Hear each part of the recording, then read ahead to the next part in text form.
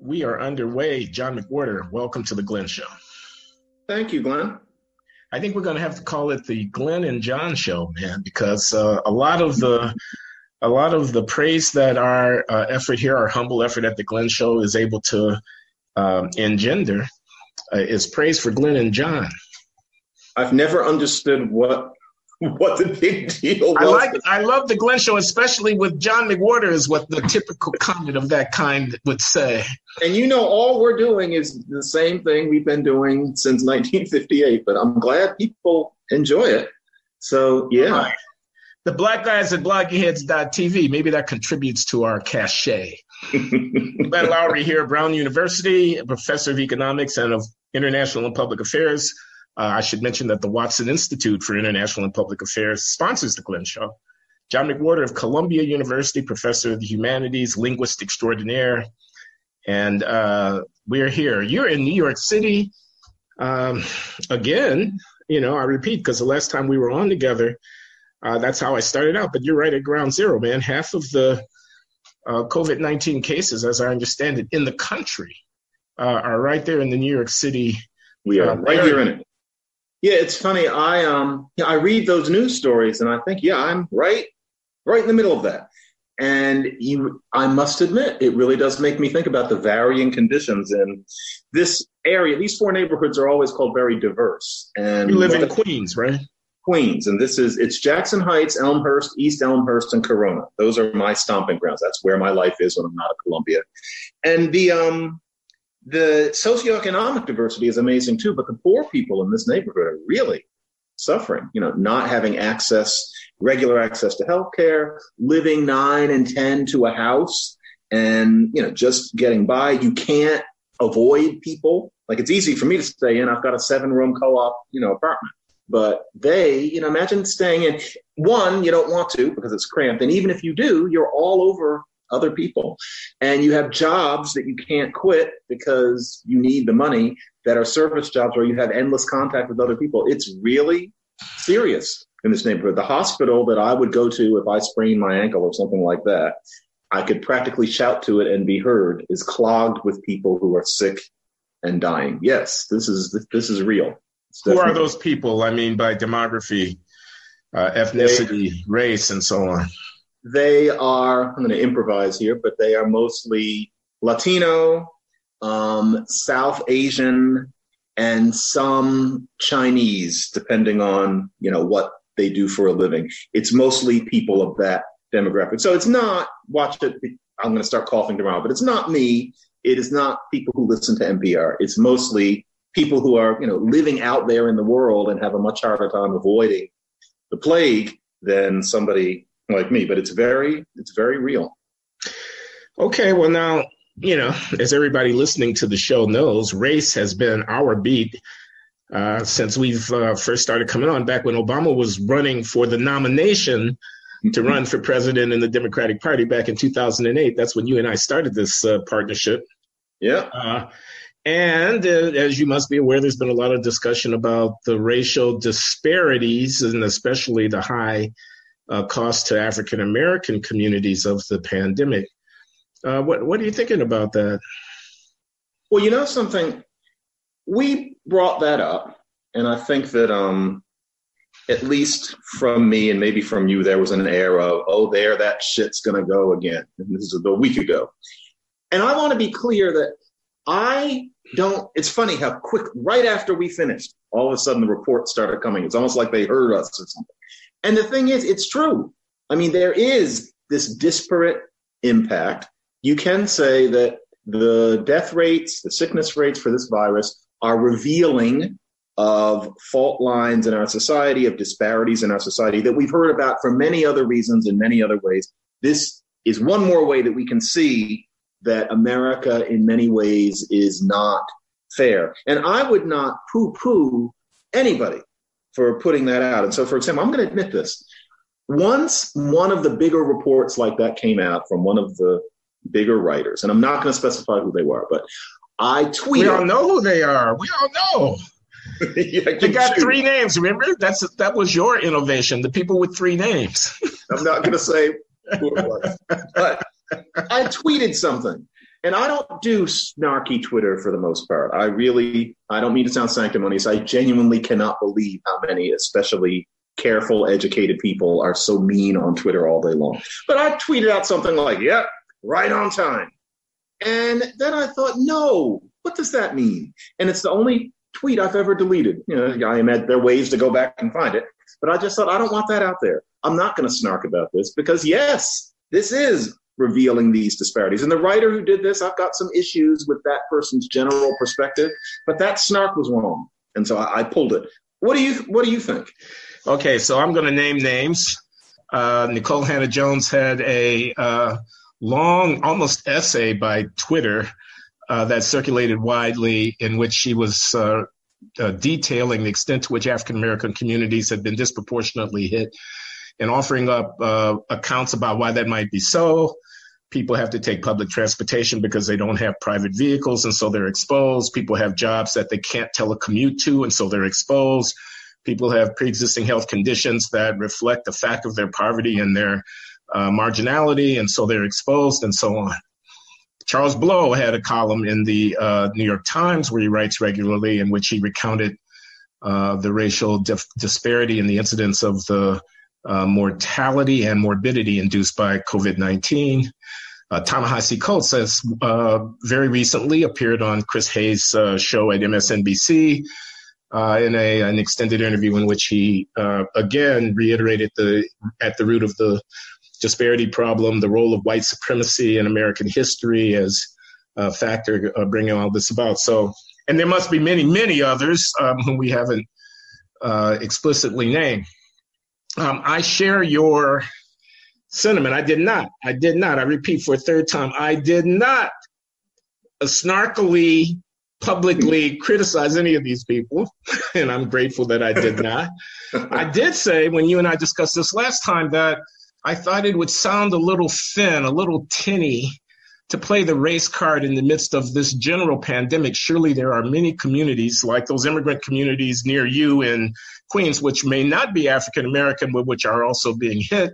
Surely there are many poor white communities in West Virginia or Kentucky or wherever it might be. I don't want to be stereotypical. Many uh, low income people who happen not to be black or brown or yellow who are also being hard hit. So I had thought that the race dimension of this issue would not be the way that you'd want to lead it in terms of public discourse. Um, we're all in this together, Americans. This is a national catastrophe, both public health and economic. Uh, this is a time to pull together. We don't want our president giving nightly briefings in which he goes into partisan rants. And we don't want our journalists and commentators uh, repairing to their you know, particularisms and their identitarian postures when the country is so uh, encumbered. I had thought, and I do still embrace that sentiment, but I was having a conversation with a conservative African American uh, good friend of mine recently. I don't want to name who this person is, and the person said something like, um, "The racial grievance industry is about to get out there and grind its axe again." And I thought, man, you know, given the scope of the devastation that is befalling these communities, I mean, people are dying. Okay, you can read it on the newspaper front page every day, in the local news as well as the national media. People are dying. People are suffering. There is a disparity. There's a higher rate of death. There's a higher rate of incidence of the disease. There's greater exposure. It depends on class. It also depends on race uh, certain communities, given the way that they're structured in terms of the density of population, how people are living. I don't know what a housing project looks like, and God help me, I don't know what a public jail looks like. I yeah. actually I'm going to interview a I'm going to interview a public health doc who works in prison health uh, in a few days. Um, put it up here at the site because I want an, I want an expert to help me understand what's going on in the jails and prisons of this country with confined people who are susceptible to this thing, and you know there's no place for them to go. So, given the scope and the scale of the, des- of the devastation, the last thing you want to do is go wagging your finger in the face of somebody who calls attention to the disparity. Yeah. Now, I, I don't want to call it racism because the virus is not racist. There are pre existing differences in the social positions of people that correlate with race and that have historical antecedents that are definitely rooted in race. Uh, to the extent that that's so, my question would be how is it relevant to what it is we need to do right now to solve the problem? If you tell me as a public health doc that I'm contact tracing and racial networks are highly segregated, and if I see somebody's got it, I want to know where they live, who they commiserate with, what's their family, who's in their household, and that's a racial issue, I'm with you. If you say I need to collect statistics so that I can be on top of how the virus is actually working, and some of those statistics are racial, I will not stand in your way. Okay. If you tell me that I need to uh, uh, buttress the supports that we're giving to people who are especially vulnerable, I'm for that. Although I would be quick to point out that many of those people, perhaps even most of them, are not Black. And therefore, the response that we're considering is not mainly a response to the racial condition of people, but to the social and economic condition of people. I'm with you 100%. But in the same way that I would say now is not the time for Colin Kaepernick to take a knee, that's a metaphor, people. I mean, now's not the time for some race car grandstanding. Now is also not the time for people like ourselves, typically given to dismissive, critical reactions to those who would make a big deal out of racial disparities uh, to get into get on some ideological high horse and start uh, wagging our fingers at those people. Yeah, I, I think. Um, yeah, it's. And um, I'm glad you retracted that tweet, John, because I need yeah. you as a partner in the years ahead, man. Don't ruin your reputation. I had to, no, it was it was because yeah, we're stuck at home, and I thought I'm gonna Moment do what everybody else does, and then I just thought no. But the um, this is the thing about it though. I these disparities are based in considerable part on you know disparities in society that we have talked about before and I think that we can take from the virus that it is urgent that we do something about those things. And yeah, I want to hear what the game plan is. And so I've always thought, you and I disagree about this, but the whole war on drugs, or I've often written that in education, children need to be taught to read more effectively, especially poor kids who don't have books in their home, talking about the availability of contraception. I think a lot of those things would change Black America. And if this virus helps us talk about proactive strategies like that, then I say that that might be an ironically good thing that could come out of this. But what worries me is that, and I just say worries because I don't have a crystal ball, but I feel like the, the quote unquote people with three names are going to say this shows that America is based on, you know, white supremacy, et cetera, et cetera. And let's say that it does. But that alone doesn't help anybody. And so it seems to me that if their end game is to say America is a racist place and always has been. It's deep in the fabric, and this is one more thing that shows that. And then you break for a commercial, and that's it. I'm not sure that's what civil rights is supposed to be. It's supposed to be here's what we do to make it so that when this happens again, and it will, there are not such disparate rates of deaths, and that this is something that we can do to be societally proactive. It worries me to death that the quote unquote person with three names' response to that is to start talking about 1619. So the next thing they're going to say is this will bring us back to what we got interrupted saying you know, during this virus. It all goes back to 1619. Okay, person with three names. Let's say that that's true, which frankly, it's a hopelessly oversimplified view of history. But let's yeah. pretend that that's true. Now what? And it just seems to me that we've got this whole industry of people who think and write for a living where they think that just pointing that out is as proactive as you know shepherding into existence a program that actually changes people's lives. And I know they would say, well, I'm doing my part and the people who are on the ground can do their part. But a lot of what they're saying doesn't even seem to lead to what you would do on the ground. This is not like Rustin giving out plans. That worries me about that intelligentsia. Well, maybe where they start and not where they end. They start by calling attention to disparity, and let's give them a let's give them a month or two before we dismiss that they haven't got anything useful to say about what to do about it. I mean, because I think there's a lot to say about what to do about it. So, for example, schools are closed. Now, we know that there's an educational uh, achievement gap, you know, in terms of testing and all of that. Who's going to lose the most when schools are closed? The kids who don't have not only internet connections where they can continue distance learning, but who don't have resourceful parents who are in a position to be able to supplement whatever the other resources are and making sure that their kids learn their reading, writing, and arithmetic. No disrespect intended to the parents. Not every parent is good at that. Not every parent has time or inclination to do that. Not every parent has well, the education. You know, yeah. So, so if there's a racial disparity in the consequences of a school shutdown, which means that the kids who are going to fall most behind are African American kids, we could be thinking about what it is that might be done about it. What might be done by the public school system, the teachers and the superintendents, and what might be done by the communities. If I may, the churches and the civil civic organizations and the volunteers and and all the rest. I mean, that's uh, a, uh, seems to me a fertile area for some kind of creative thinking about intervention. Another thing I'll mention is social distancing. Um, you know, I don't know any facts about this, and I don't want to be misunderstood. I'm not accusing any community of not practicing social distancing. What I'm saying, however, is that social distancing doesn't come naturally to anybody. It's not human. No. It, it, may be very hard to do if you live in a tenement where there are, you know, close connections up and down the way and whatnot. It may be hard to do if you live in a um, multi generational household where you've got older people and younger people going on. It may be very hard to do if you if your job is one of those jobs that you have to get out of your house and go and do it right now.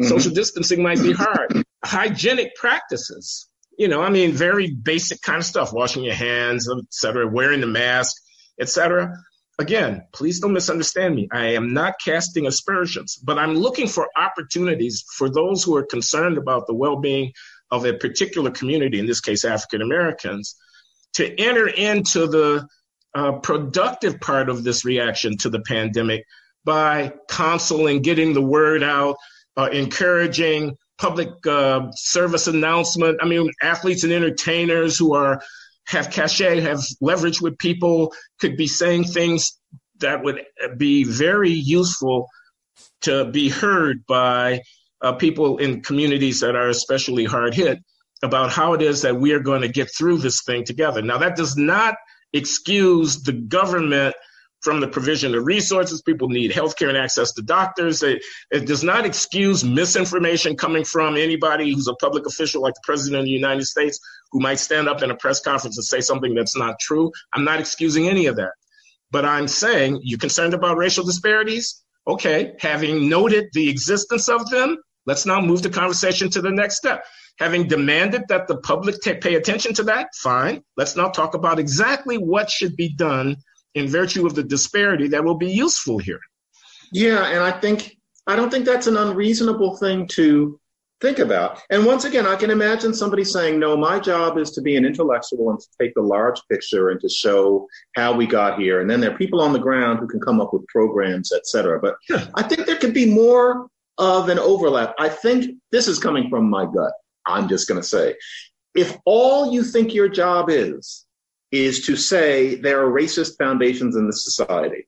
And what you really mean by that is therefore we need to have reparational payments paid to black people. Because I, as we've talked about, that seems to be a lot of what the code there is. Is that it? I mean, it just seems to me, you know, if you've got a journalism degree or you've got a PhD, you're working, you know, for a major media organ, is that it that year after year after year, you just say racism is structural, racism is structural, racism is structural. That's all. And maybe, maybe because I'm an odd Montessori kid who likes studying weird stuff just for the sake of it. And I mean it. I don't I'm not saying I have an IQ of 300, but I'm hungry. I just like to grab around and I want to look at that and that, that Looney Tune and that president's wife and learn that language for no reason. But that that feel. Maybe I expect too much of people I'm talking about now who are brilliant in themselves, but it's the same message over and over. And this may be a little premature, but yeah, 1619 cannot be the response to something this urgent. Learn about at least one other thing something about education, something about epidemiology, something where you have something to tell people. Like, I don't know where to put this. I'm almost done. I know from this city, and this is this is over now. It changes every week, but talk about say three weeks ago. Among less educated members of the community, there were many people who had an idea. And you don't have to take it from me, people. Van Jones did a whole video about this, and he was quite right. A lot of people, like black people in the Bronx, I know this from good authoritative anecdote from somebody who lives right there there was an idea that the coronavirus was something that kills old white people. I heard that said a million times myself, just around, including by a very famous person, as a matter of fact. And you'd say, yeah, okay. And it kind of seemed like that for about 10 minutes. And so, in a lot of those neighborhoods where we had already been told to social distance, it wasn't happening. That changed. The message got out. But the question becomes how to avoid something like that happening again, how to get the message out so that there wasn't a two weeks where you had people playing basketball and bumping up all over each other while the NPR, New York Times people were already avoiding each other and walking around in masks. That's not the way it should have been. It wasn't those people's fault, but still, how do you fix that? And the response to that is not fucking 1619. And I just hope that our intelligentsia can be more creative than that. Yeah, you fix it by getting LeBron James to tell people that it's not true. Yeah, um, and you know, raising uh, getting George Soros to give you ten million dollars so that you can put it on every TV show eh, station that and radio station that Black people listen to. Yeah, um, but but this age thing is not irrelevant, you know, because it does kill older people, not just old white people. It'll kill any old anybody, including your humble servant here. And I ain't gonna let it happen. I'm not old. I'm just I'm just getting better with age. That's all. You're August. and and the point I want to make is if you look at the age distribution, all you got to do go to Google and type, uh, you know, age distribution by uh, race and ethnicity in America, and the table will pop up uh, that'll show you a chart. And white people are older than black people, significantly. Interesting way of putting it. Than black yeah. people. Okay, right. there are relative to the proportion of the population comparing whites to blacks. The number of whites, first of all, black people don't live as long shorter life expectancy. Okay, I mean this is a part of the burden of race in the country. It's certainly a disadvantage uh, to not have a long life, and that's part of the disadvantage that African Americans labor under, in part because of a history of racism, et cetera. I'm not being flippant about that. That's true, but uh, the other side of that is that there are more, relatively speaking, white people in their 70s and their 80s and in their 90s, and they're dying from this disease at higher rates than younger people, which means that there is a racial disparity adverse to whites relative to others in terms of the incidence of mortality from the disease. That's a pure consequence of the age distribution tables. Yeah. I haven't heard I haven't heard that mentioned anywhere. It, well, I don't read the the uh, white supremacist press, so I don't know. They may be making a point of it, but but you know, you know, if, we're, if we're looking that, at disparities, that's one we ought to take on board. Excuse me. You know, one that um nibbles at me. And here I'm talking about something where I don't I don't know what I'm talking about, or I know what I'm talking about a very little, is that you talk about how part of the problem is lack of access to healthcare among black people, and that would explain part of this age issue. Without but doubt. Yeah. Sometimes with health issues, I also think about diet. And what we're told, and you see this with a lot of these reports, is that there, are, there are these food ghettos that black people live in disproportionately where you just can't get good food you can't get yeah. fresh vegetables so you end up going to the bodega and eating potato chips and, and pickles and you know the the data on that is really not friendly to that notion which has now become just a truism the truth is that people culturally have different dietary preferences and there's no reason why that wouldn't be true not of every black person on earth but you know of, of a great many Black Americans. And often the supermarkets are quite nearby. You can buy kale for very little money, but there are people who eat in a certain way because that's the way they grew up eating and that's what they like. They like that palate. I openly admit that that palate that I'm talking about now, if I could do it and not become unhealthy, I would eat that way every day. And I didn't grow up eating only that way, but you know, the chicken, the grease, I love that. I don't want. Did you ever watch the Boondocks uh, cartoon? I saw show? most of it. Yeah. So you know the one yeah. about the fried chicken uh, epidemic, the fried chicken flu. Yes, I forgot all about that. Yeah. There's a whole, I mean, the thing is as funny as it can possibly be, right? Because people are going to eat their fried chicken no matter what. And he envisions yeah. a, a, world in which, for some reason, fried chicken is carrying some virus that's making people sick. And he's got loads of black people lining up outside the fried chicken place and trying to get their last order in before they stop serving fried chicken, and, regardless you know, of the health consequences of it. I mean, you could not get away with it if you were not a black TV producer. Right. And, but you know, everybody laughs but every, yeah. the laughter is partly because you know it's partly some fact. And so I wonder, I'm afraid that we can't have an honest conversation where we might say some of these health disparities were due to the fact that we like eating in this way, and we might want to be careful. So it's obesity and and, and, diabetes. Yeah. And, and, I just want to say, yeah. I don't want to imply that the obesity and the diabetes are only because of these dietary preferences, but I suspect they play a role. And you can, you know, and I I remember. Well, here's seeing, what you might do, John. Excuse me for interrupting. You might look at Southerners because I think a lot of this right. dietary practices are Southern. South yeah. not just a black, but a Southern thing. And you might compare blacks to white Southerners and who are eating a in the white South um, already. Yeah. Yeah, and it's the same. The obesity, the diabetes, the smoking, and part of it, it's partly healthcare, but I can't help thinking, isn't part of this just due to the way one might prefer to eat as a Southerner? And then you have to have a different conversation than 1619. And I'm, I get the feeling a lot of people wouldn't be open to that conversation. Okay, so now, not just a race thing here, uh, a general social policy thing. A lot of people are saying that um, this is proving the need for some kind of universal health care uh, because if we had that, uh, the people who are most disadvantaged would be better off. They'd have been better off in terms of care before the pandemic hit, and they have more access to resources afterwards.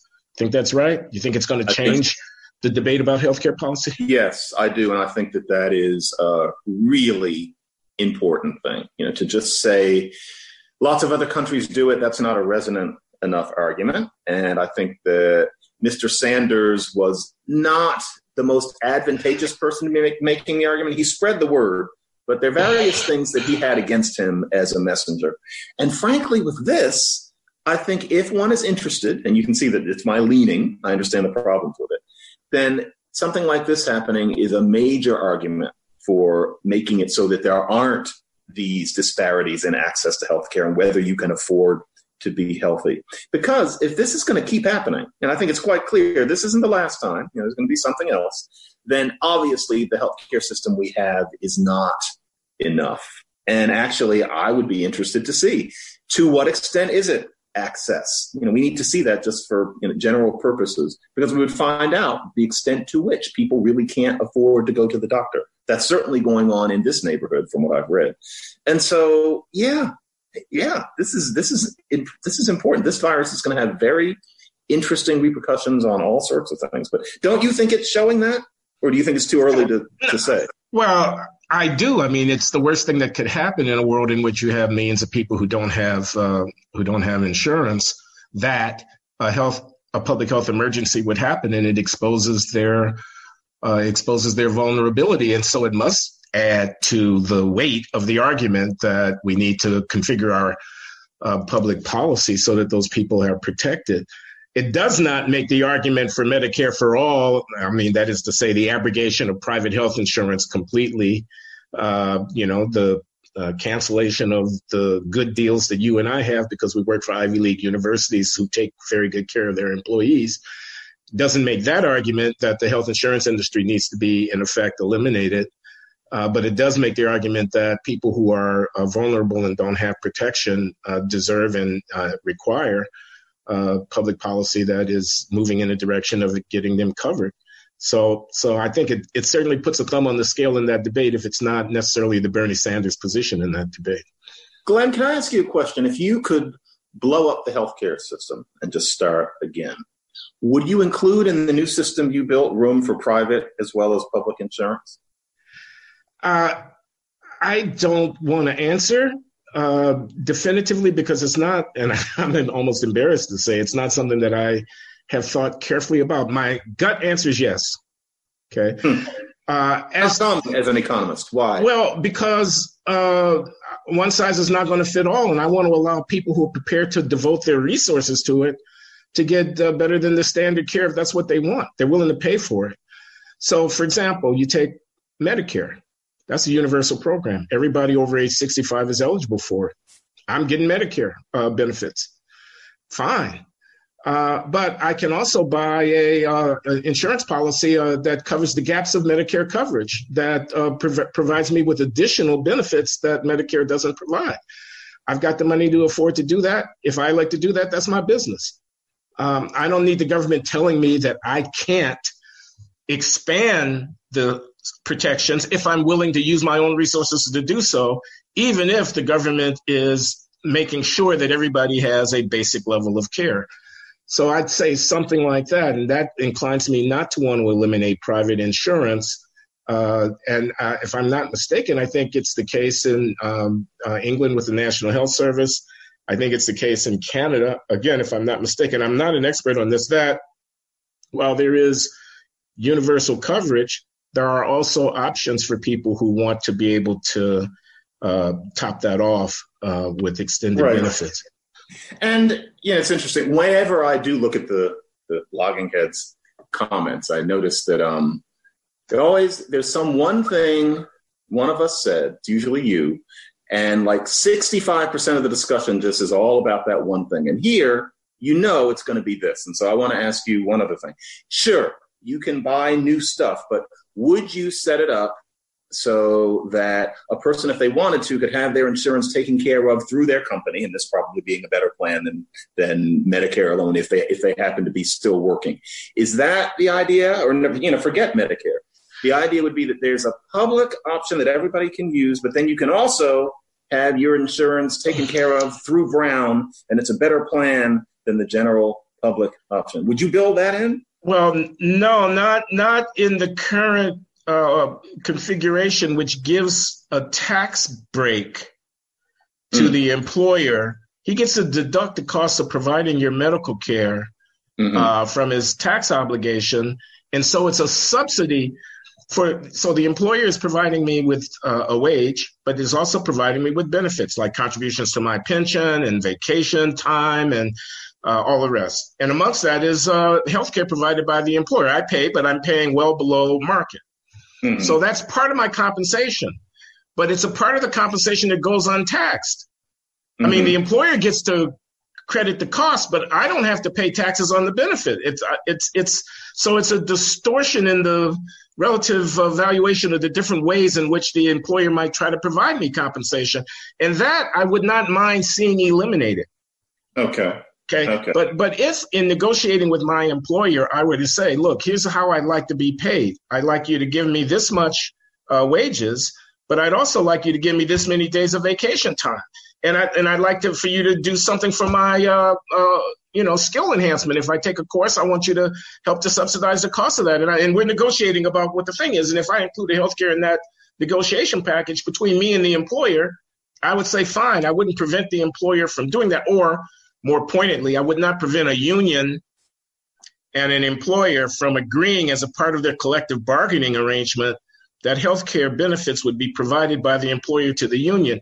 But the reason we see that in contracts as much as we do is because there's an implicit tax subsidy to the employer mediated provision of this mm-hmm. benefit, which, um, you know, is, is uh, something that I wouldn't uh, object to seeing eliminated. Okay, so these things are not as simple as you know Finland does it this way, and therefore why shouldn't we? And that's that's all there is. There's there's more to it than that. There's a lot more to it than that, and it's been uh, worked to death by the, the whole argument that went on during the Obamacare debates and whatnot. And there are people who know a hundred times more about it than I do, as will be clear already from what I've said so far. I just wanted to ask you about that because no problem, you know, and I and I can take the flack. I heard music was that our soundtrack? Uh, that? No, that's somebody at my front door, and I don't feel obliged to answer it at the current time. Believe me, they will. They're probably leaving a package from Federal Express or uh, Amazon Prime or something like that, and they just want me to know that it's there. They will come back. Believe me. Well, you know, here's another thing about COVID and race. I wonder if the next thing is going to be that the way people are being treated is um, being affected by race, that black people are disproportionately getting lesser treatment for the disease, and that that's part of why there are more deaths. It's one thing to say society has always been driven by inequality, and that determines that more black people are dying. But it seems to me that next is going to be, like I'll say, I'm sure that people are looking for it, and I wonder if they'll find it. They'll find that black people are less likely to get the kind of care that would keep them alive. And that strikes me as being the next thing. And I wonder if that'll be as easy a case to make Maybe it'll just be a mic drop. But I, I'm worried that people are going to be in a sick way hoping for it to be that way, wanting to find that. And when the data might not actually indicate it, we'll see. I don't know. Maybe no, it's a fair point to raise. Nikole Hannah-Jones does, in fact, mention the there's a long literature on health disparities, and part of it involves doctors having stereotypes about patients of color. Right and not taking their complaints about pain as seriously. And I wonder whether access to testing uh, can be shown to be racially differential. Uh, in that a person with the same symptoms who's white more frequently gets referred to a, a coronavirus test because they're rationing access to testing. The symptoms, how bad do the symptoms have to be before you get tested? Does exactly. that depend upon your race? Uh, I have no knowledge about whether or not that's so. It's certainly possible that there could be discrimination of that sort. And the possibility has been mentioned by a couple of commentators already. Yeah, because there you could say that there's something racist about that which is going on right now. And I would be interested to know if there is, but I hope people are rigorous and don't go hoping to find something out of a sense that your job is to be a Cassandra about race. Because I think that in these times, all of us have other jobs. You know, there, there are a lot of things to be looked at. And so, yeah, I'm open to it if it turns out to be that way, but I hope it isn't, I hope people don't do creative massagings of the data where it gets to the point where a reasonable person might see it in a different way, but most reasonable people are afraid to say so because they're going to get called dirty names on Twitter. That's the sort of thing that I hope we, don't. That's what peer review is supposed to protect us from in the academic literatures, anyway. I mean, you can't stop what's printed in the New York Times, but you can stop what's printed in the Journal of the American Medical Association. I hope. Yeah. anyway, John, what do you say we call it a conversation? Did yeah, you have something go- else you want to put on the table here? Not today, because I feel like we're on the break of something. You know, the rates of, of death. I can't believe we're having this conversation. The rates of death are going down in New York. I get the feeling we're entering a new phase, not to use that tunnel. You mean those who died yesterday fewer than those who died the day before yesterday, kind of beginning thing? to go, go down. I sure is, hope that, that that's, or is that, it hospitalizations? I think it's hospitalizations, but still, it's a sign that something maybe maybe turning a corner. Yeah, and I'd like to see what happens after that. But um, yeah, I think I'm going to go make a ham sandwich for now. So it's lunchtime. Sounds good. Yeah. Uh, so thanks for coming on the show. Let, us do it in another week or two because I'm for we that. both don't have anything to, anywhere to go. So let's do that. That's true. Maybe we can talk about something other than COVID nineteen. Who knows? That would be welcome. Yeah, you're teaching your classes, I assume. I know I am. I'm sending them as podcasts to my students. I loathe teaching on Zoom, loathe it. And I just told the students, no, you're just going to listen to me. I do podcasts as part of my living anyway. Now, so you're, you're actually doing live classes? No, I'm not doing live classes because people are scattered. It's hard to get us synchronous, and we were advised by our administration to try to avoid that. I'm putting up lecture video lectures up right. on the uh, uh, That's what website and uh, they can they can look at them at their leisure. But, but I don't Brown know if anybody's looking. Brown Pardon? told you to do that. They said that it was. No, they advised. To- they advised. But they advised. They advised to not have synchronous class meetings huh. because, given the scatter of people, it might be yeah. hard for everybody to convene at the same time. You know, the rumor is, and it's just a rumor, that the Ivies and then maybe about 20 other schools are encouraging actual live classes, and that most other universities are saying what you just said, which is that people are all over the country, all over the world. You're not going to bring people in at one time.